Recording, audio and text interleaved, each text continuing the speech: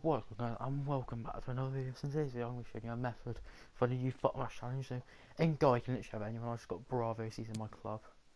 Then right back, Marianne, you can get him for cheaper than that. I literally just went on the market, brought him for like 800 coins, 700 coins.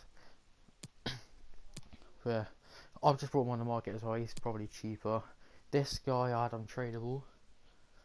Um, don't actually know how much he is, but I'll, I'll have to go and double check on that one. Yeah, that's it for the scene. Okay, so that centre mid was 700 odd coin. Alright, premium gold players back. What am I gonna get? Ooh, I'm not looking. I'm not looking. It's a balls.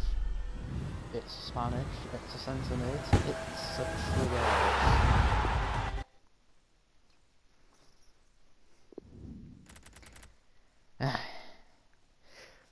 Oh, pack luck. It's class.